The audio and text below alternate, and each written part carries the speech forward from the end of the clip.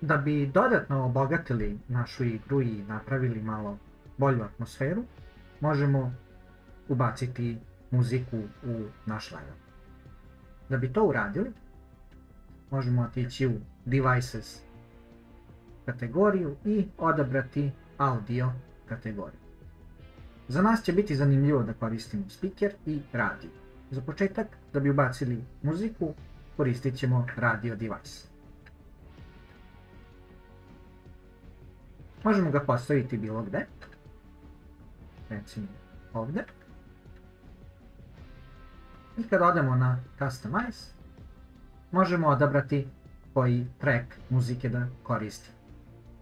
Pa tu možete odabrati nešto što vam se sviđa. Ja ću naći nešto, recimo, Haunted Hotel. Pošto smo u fazonu horora. Ovdje imamo nekoliko namještanja u vezi ovog device-a. Znači distance ćemo staviti da je whole island. Volume možda low. Visible in game ne želimo da se vidi. I da li može svako da čuje. Ostavit ćemo da jeste.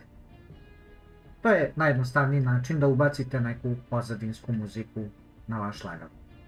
U sljedećem videu ćemo se baviti malo i zvučnim efektima i kako možemo da ih triggerujemo.